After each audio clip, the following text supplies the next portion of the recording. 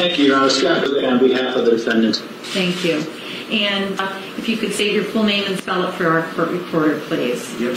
Uh, Lieutenant Tim Willis, that's W-I-L-L-I-S, the Oakland County Sheriff's Office. Thank you. If you please raise your right hand. Do you swear or affirm the information you're about to provide the court will be truthful, accurate to the best of your ability, so help you God? I do, Your Honor. Thank you. And what information do you have that would lead the court to believe that a complaint warrant should be issued against Ethan Robert Crumbley? Your Honor, on Tuesday, November 30th, at, would you let me remove my mask on or keep it? It's up to you, whatever you feel most comfortable with. Thank you, Your Honor. On November, on Tuesday, November 30th, at approximately 12:52 p.m., Sheriff's Office deputies were dispatched to Oxford High School, located at 745 North Oxford, Oxford Township, County of Oakland, State of Michigan, for the report of multiple gunshots being fired in or around the school. As deputies were responding to the scene, they witnessed numerous students and staff fleeing from the area. The first deputies on scene immediately um, deployed to the area of the high school, taking a 15-year-old student into custody. They're identified as Ethan Crumbley, 15-year-old um, Oxford Township resident. Um, preliminarily on the scene, the victims identified were a 16-year-old male who was deceased, um, a 14-year-old female who was deceased, a 17-year-old female who was deceased, a 17-year-old male who later was deceased um, at the hospital,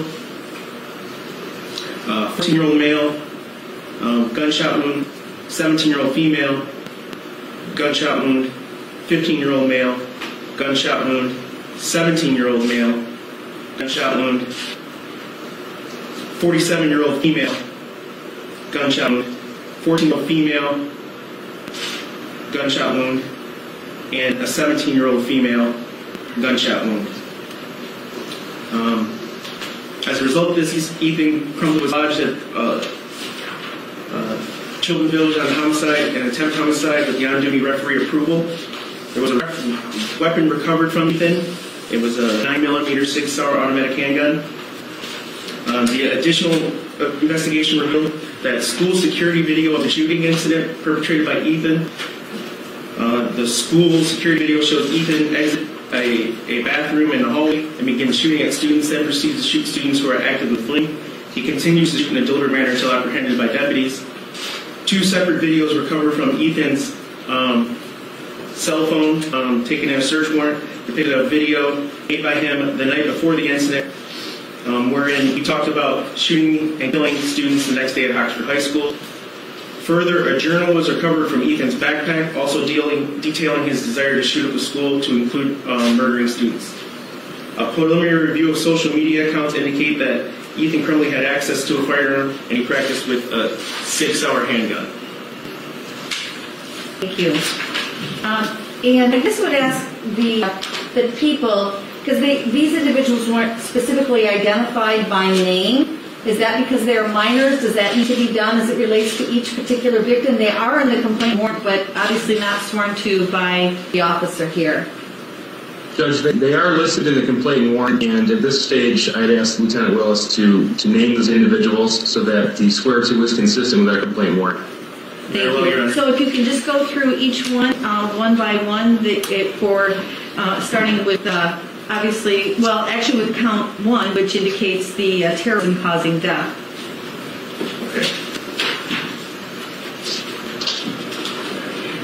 Do you have a copy of the complaint warrant? I do, Okay.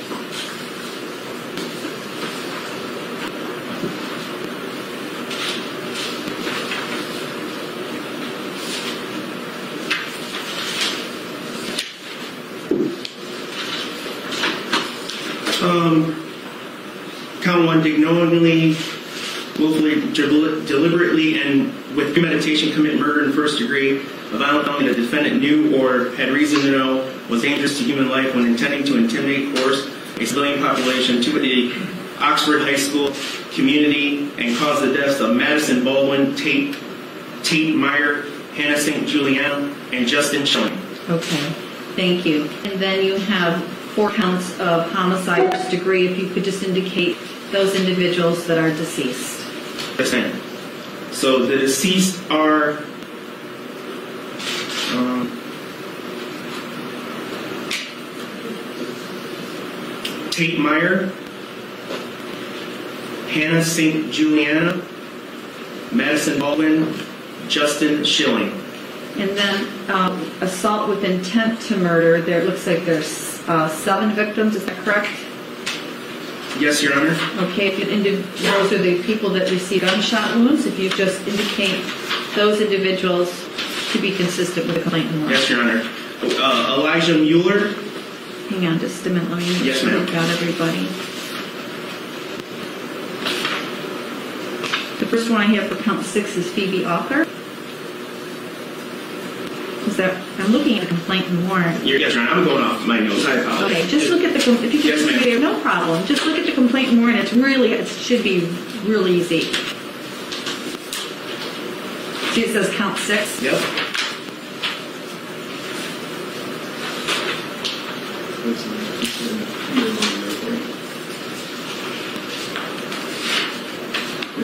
Here, on, Your Honor. I'm sorry. No problem. Did make an assault upon Phoebe Arthur with the intent to commit the crime of murder. Thank you.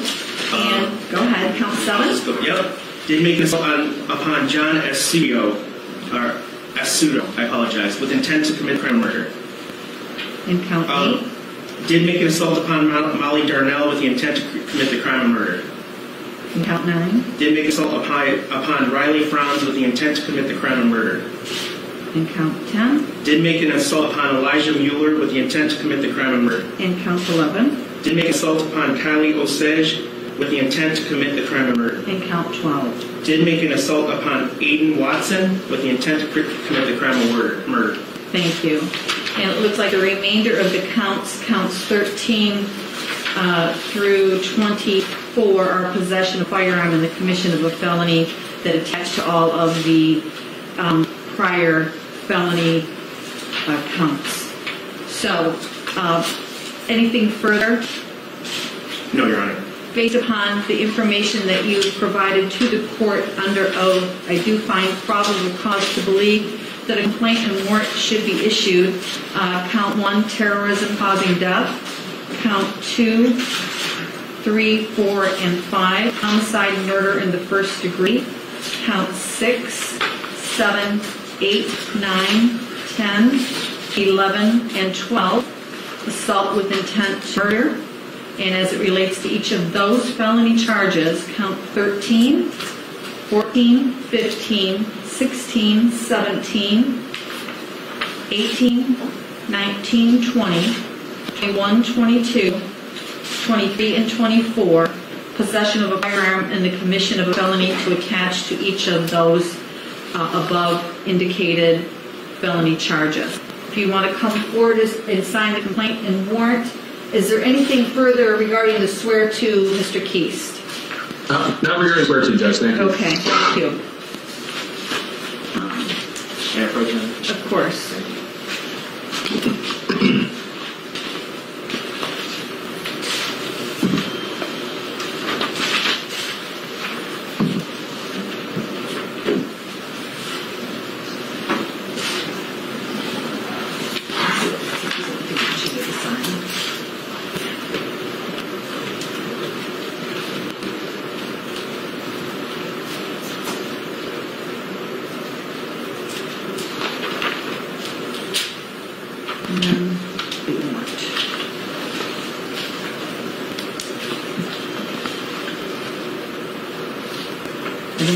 You, I've, you signed the complaint, I've signed, I'll sign the warrant. Thank you.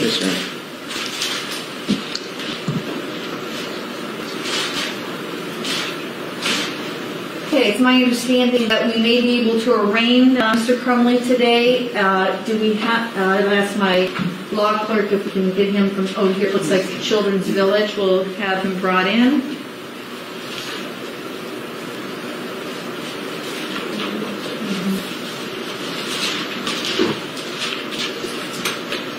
Judge, if I may, Yes. um, because the defendant is a juvenile under MCR 6.907, the prosecuting attorney must make a good faith effort for the juvenile's parents to be notified of the arraignment. I do believe that Miss Nadine, who was initially appointed to this case, has made contact with the juvenile's parents.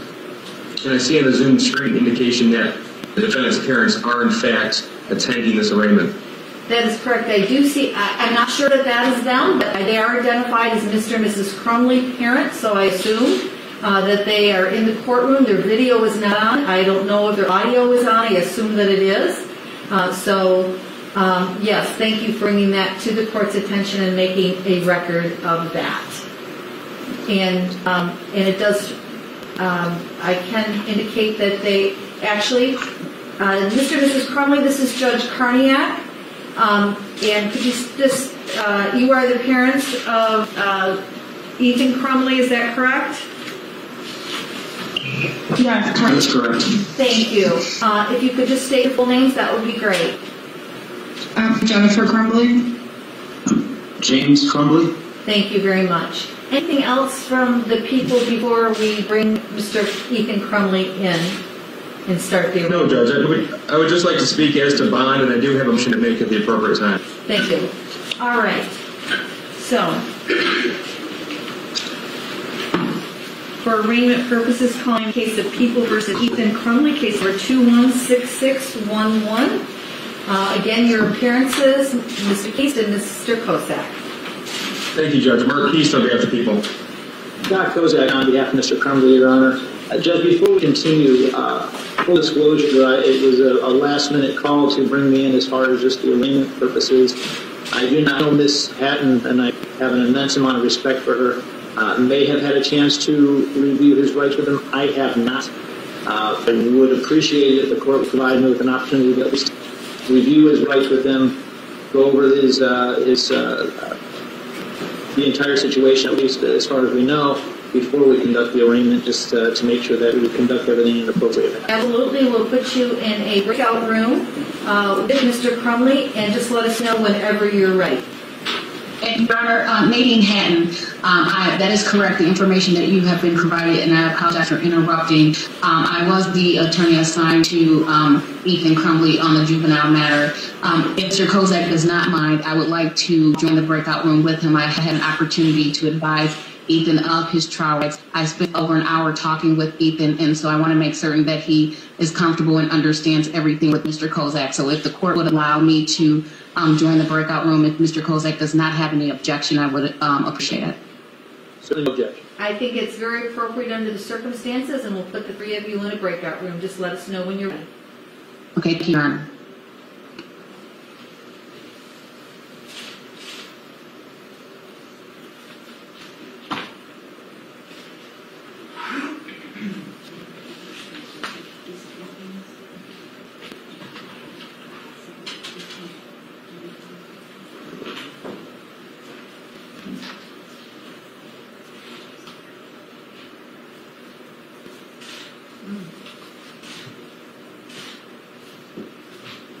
Is this Hatton in there?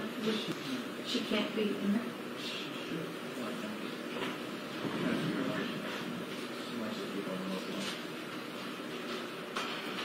It looks like she's frozen.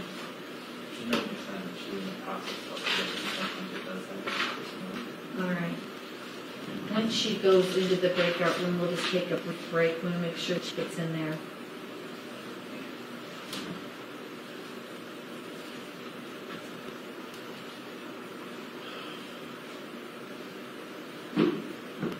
You want to take her up there back in? Oh, there she is. Okay. All right. All right, we're going to take a few minutes recess and then we'll come back. And we'll try to handle those cases as quickly as possible, Mrs. Scott, afterwards. Thank you. Thank you, Your Honor.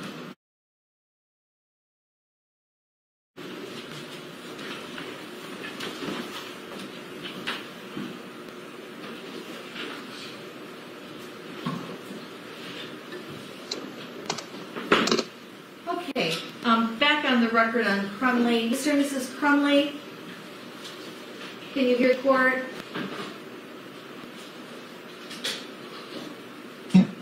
Yes, we can. Thank you. I, I'm assuming that you would like to be put in breakout room with your son and his attorneys, is that correct? Yes. Okay. Yes. Yes, please. Okay, we will do that. We'll put you all together. Thank you. Thank you.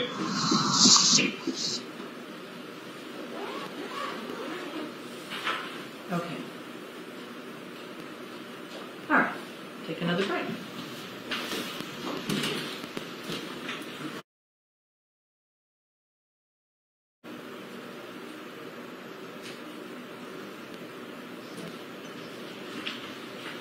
All rise. Please be seated. Okay, recalling Crumbley 216611. And uh, Mr. Kozak, uh, your appearance, or uh, actually Mr. Keast, first your appearance. Thank you, Mark Keast on behalf of people. Mr. Kozak. Once again, Your Honor, Scott Kozak on behalf of Mr. Crumbley. Ms. Hatton. Oh, Sorry. Yes, Your Honor, Nadine Hatton, I was um, formally appointed to Mr. Ethan uh, Crumbley as his juvenile attorney. Thank you. And Mr. Crumbley, just state your full name for us, please. Um, Ethan Robert Crumbley. Thank you. Mr. Crumbley, at any time you do not hear or understand myself or any of the parties to the proceeding, will you please let the court know? Yes. Mr. Kozak, have you had ample time to talk to your client, as well as with Ms. Hatton, along with Mr. Crumbley's parents, to proceed with an arraignment? Yes, Your Honor, and I appreciate Ms. Hatton's presence as well as uh, Mr. Crumbley's parents. I appreciate the court's time in allowing us to get acquainted.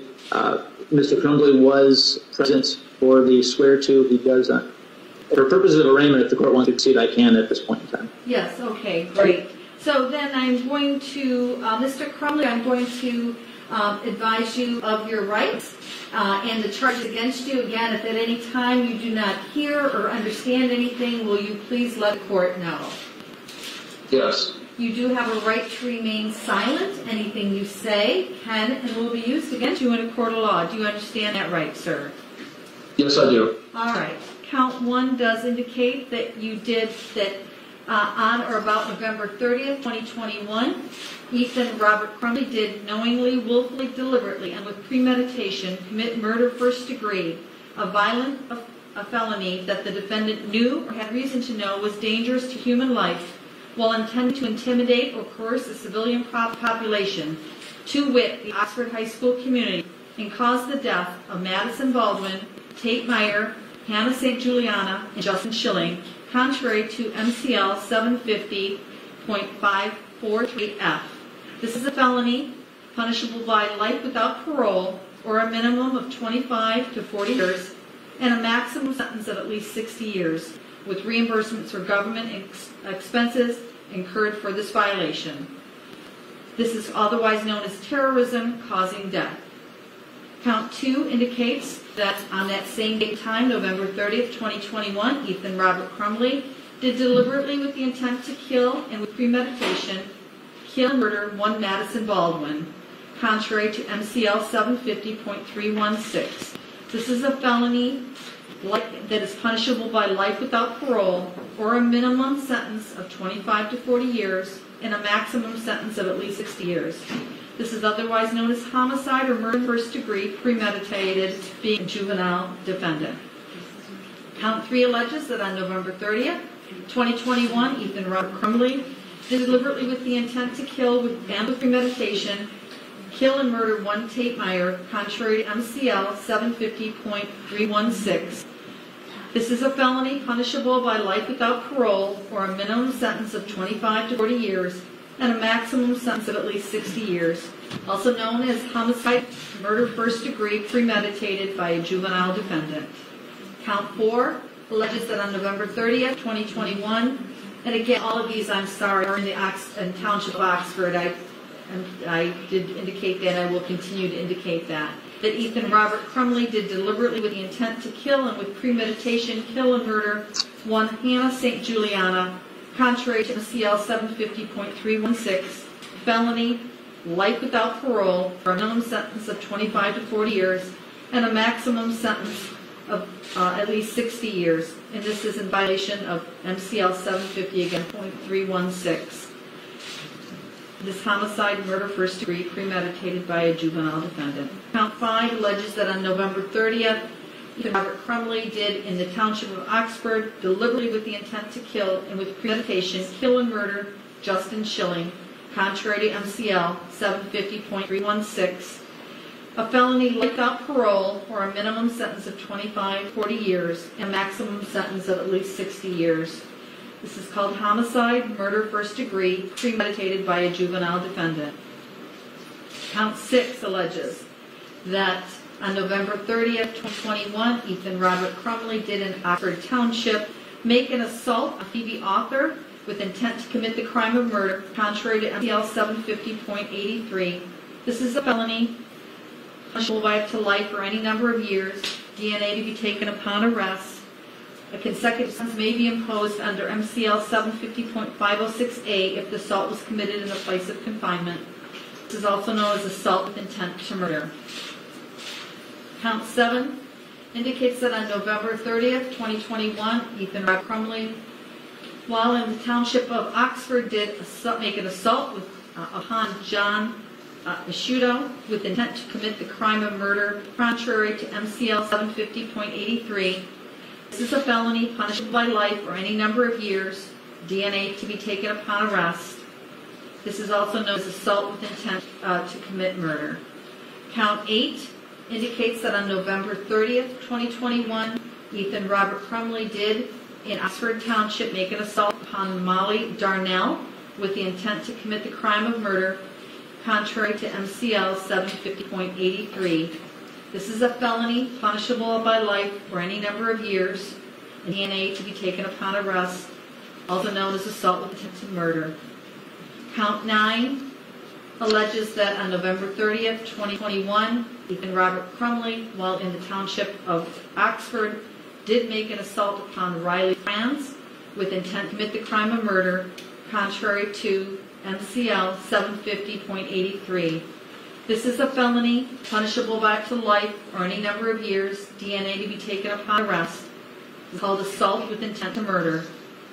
Count 10 alleges that on November 30th, 2021, Ethan Robert Crumbley, while in Oxford Township, did make an assault upon Elijah Mueller with intent to commit the crime of murder, contrary to MCL 750.83, a felony punishable by life or any number of years, DNA to be taken upon arrest. Also, again, assault with intent to murder. Count 11 alleges that on November 30th, 2021, Ethan Robert Crumbley, while in Oxford Township, did make an assault upon Kylie Ossege with intent to commit the crime of murder, contrary to MCL 750.83. This is a felony punishable by life or any number of years. DNA be taken upon arrest.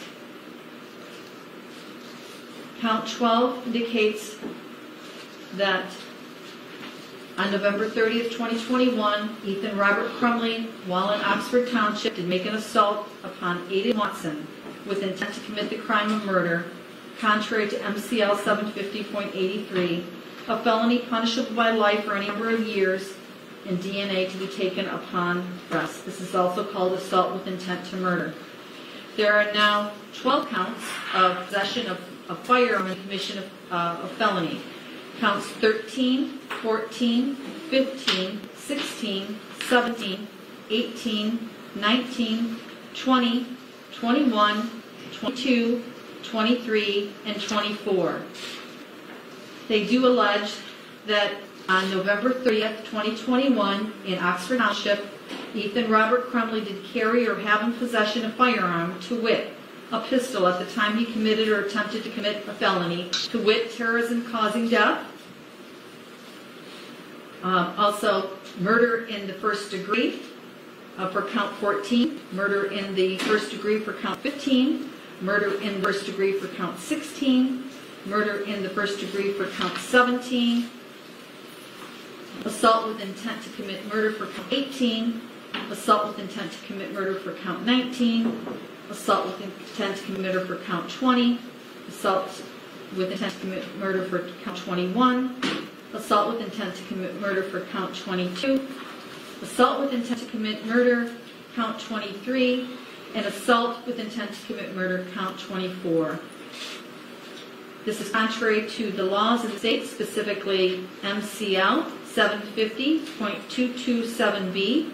This is a felony punishable up to two years consecutively, consecutively with and preceding any term of imprisonment imposed for the felony or attempt felony of conviction.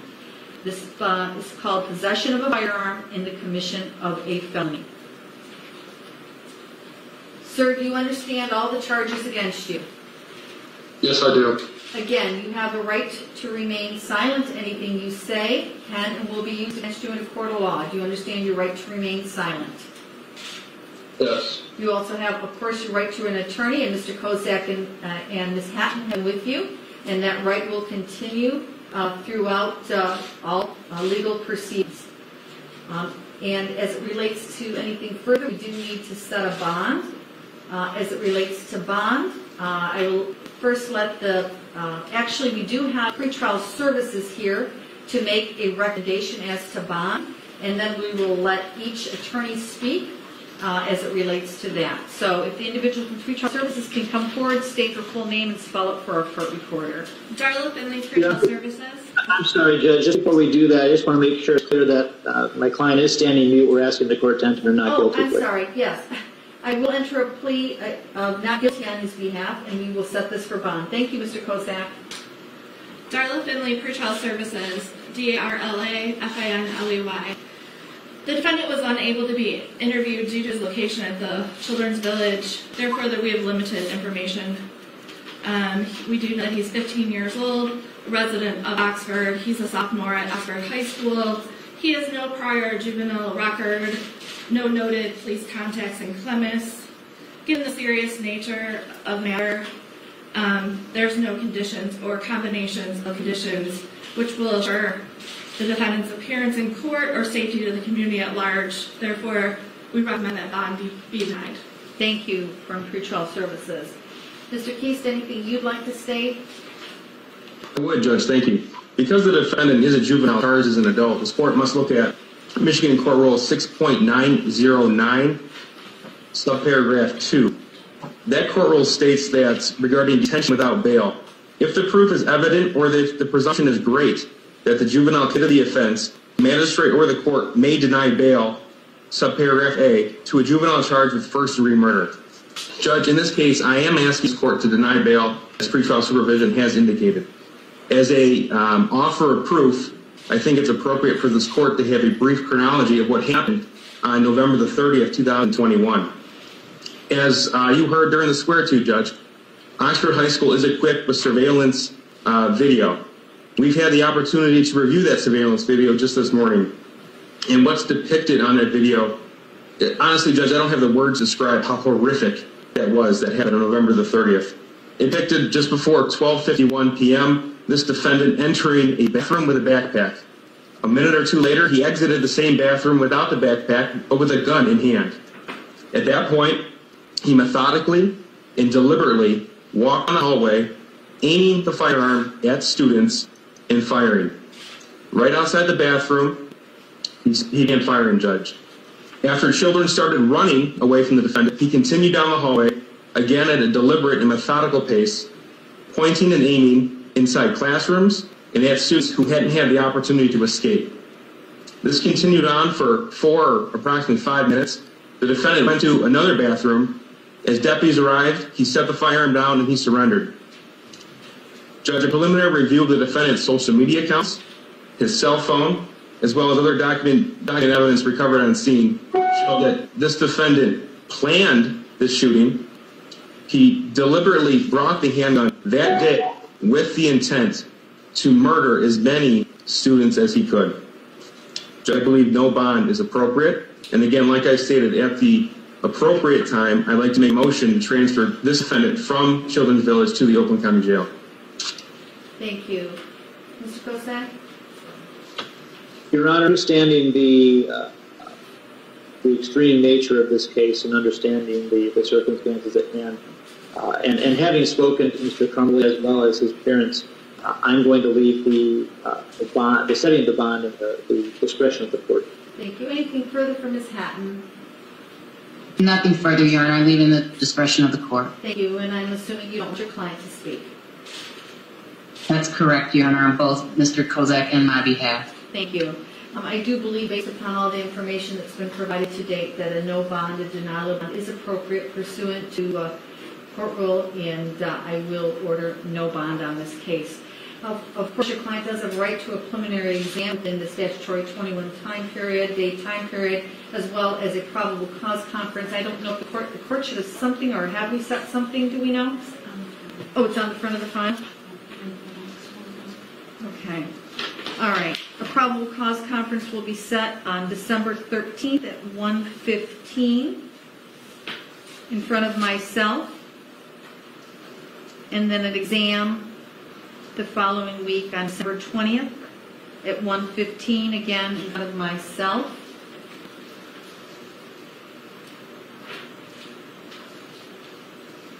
Anything further from the people or the defense? Thank you, Judge. I, I do have a motion for the court. The defendant is uh-huh. currently housed in Children's Village, if, if I may. Yes. Thank you, Judge. Under the same rule, MCR 6.909, subparagraph B regarding place of confinement. Subparagraph 2. On motion of a prosecuting attorney or superintendent of a juvenile facility in which the juvenile is detained, the magistrate or court may order the juvenile confined in a jail or similar facility designed and used to incarcerate adult prisoners upon a showing that the juvenile's habits or conduct are considered a menace to other juveniles. Judge, in this case, I can't think of a more appropriate um, set of circumstances for a transfer from Oakland County Children's Village to the Oakland County Jail. Now, this court must also look at the statute, and that's MCL 764.278. I spoke with Lieutenant Tim Willis, who is the officer in charge, into the square to this afternoon. He has confirmed that the Oakland County Jail can house this defendant in a location out of sight and sound from adults, and that's the standard in the statute, Judge. Um, the Oakland County Jail is better equipped to handle this situation. They have done so in the past. They have done so in conformance with the statute. It is a more secure location, and I would ask that this court find that this defendant's conduct is a menace to juveniles by evidence of the simple fact that he targeted juveniles in this offense. Count one is a charge of terrorism uh, via murder, Judge, and the evidence that will come out of the preliminary examination and the subsequent trial will show that this was a planned event, it was methodical in its operation, and it was done so to terrorize, intimidate others in the community, Judge. I do believe the Oakland County Jail is the appropriate location to house this defendant. Thank you. Thank you. As it relates to that issue, Mr. Kozak and Ms. Hatton.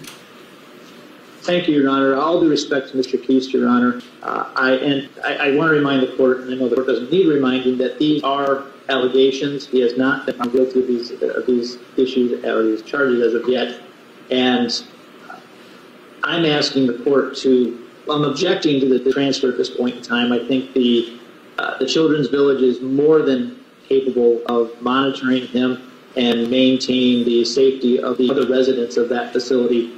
Uh, I think at this point, Judge, if the court's going to consider the motion, I would ask the court to perhaps hold the ruling in abeyance until after the preliminary examination, at which point the court will have had a chance to have taken sworn and heard sworn testimony regarding these incidents.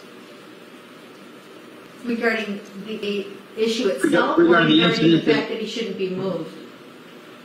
Regarding regarding the incident itself, the incidents itself, Your Honor, and because I, be, I believe that's what prosecution is using as a reason for the transfer in and of itself. That that's evidence of the, the need to transfer. Thank you. Ms. Hatton. Your Honor, just, just very briefly, this court has already found that the proof is evident under 6.909.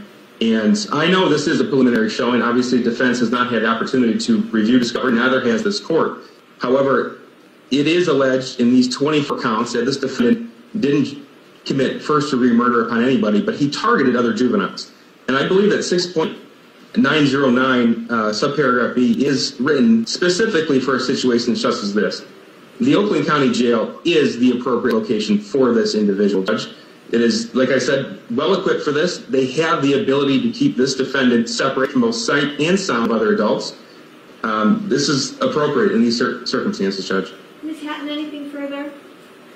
I concur in Kozak's argument. Um, I will advise the court that as Mr. Um, Ethan Crumbley's uh, juvenile attorney, I did have an opportunity to speak again with Mr. Ethan Crumbley at the juvenile facility, Children's Village, as well as the individuals who are um, supervising Mr. Crumbley, um, Ethan Crumbley at Children's Village. It's been reported to me, Your Honor, as the officer of the court, that Ethan has been cooperative. He is on suicide prevention there at Children's Village. He's not in general population. He's secluded and he's receiving one-on-one um, supervision. I would ask the court, based on that information, and that he is cloaked in the veil of innocence unless proven guilty, that he remain at Children's Village until after the preliminary examination.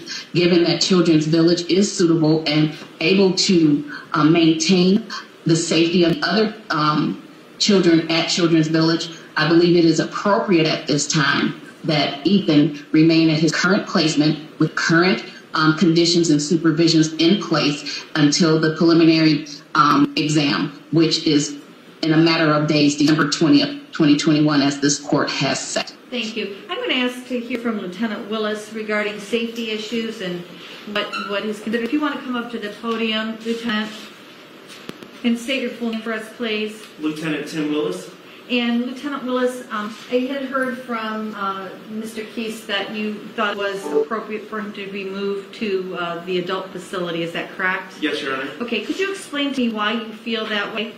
Uh, the, this, well, I mean, besides the obvious of, of what uh, is alleged to occur. Right. So obviously, I agree with Mr. Keast about the the, the incidents I've witnessed for, um, via the video and all that stuff. But also, the the sheriff's office in the past has housed several juveniles. Um, I, I've actually worked in that jail and, and know for a fact that how um, I just have all the confidence in the world in, in my team, or the, the, the sheriff deputies at the jail to um, secure him and keep him um, completely sequestered. Um, So how does that work? Explain what would happen to him and how he would, what the Yeah, we- placement would be. Yes, Your Honor. We have several jail cells in and around, um, but uh, typically a we have a where he would go, where he would be placed is the, our a clinic area, and it's completely secluded off from the rest of it's it's the only thing. There's a glass front door, but everything else is is bricked in. So it's completely private, completely back and away, and a deputy monitors um, him. So we'd have no contact whatsoever with any adult inmates, is that correct? That is correct, Your Okay, and he would be in there, in that facility by himself? Correct. There would be no, again, the only adults he would hear would be the deputies working there, but All right. no inmates. Thank Not you. see them, hear them.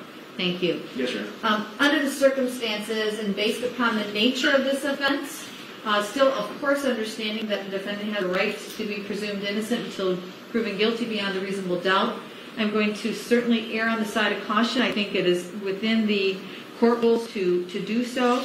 And I would agree with uh, Mr. Keast, this is the perfect example of a case that should be done to protect other juveniles. So I will have him move to that facility. As it has been indicated that he um, will be in isolation and not will be in, will not be in contact with any other adult inmates, but only that of sheriff's deputies. Anything further? Not from the people, Judge. Thank you. Thank you. Your Honor, the only uh, matter would be making sure that he has counsel at the date of the probable cause conference. I'm not sure if the court has paperwork already prepared on his behalf, but he will need uh, court-appointed counsel at that point. So I'm not sure who the, um, that is obviously is done by circuit court. Do we know what's going on in that regard? He will just need to fill out the appointed attorney request, Judge, Oh. and they will get that. Okay, so, all right, Mr. Crumbley, we want to make sure that you have counsel at each and every future court date. So we're going to get, make sure you have that paperwork today to fill out so that you can make, so that you will have an attorney present at your probable cause conference, your preliminary exam, and all future proceedings. Do you have any questions about filling out that court-appointed attorney form? No, Your Honor. Okay, thank you, thank you, Mr. Kozak. Okay, if there's nothing further, we are in recess, thank you.